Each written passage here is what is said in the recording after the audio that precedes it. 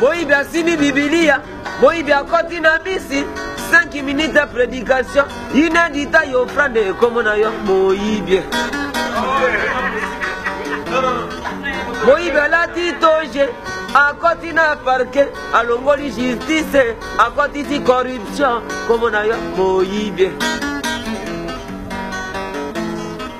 moyibia lati teni bandeko abakisi lisusu jile atelemi na balabala na sifle na ye na monoko piololo piololo piololo piololo piololo piololo piololo abebisi ko de la rute likolo ya mbota ya likaswe akreye ya mbuteyage komona yo moyibi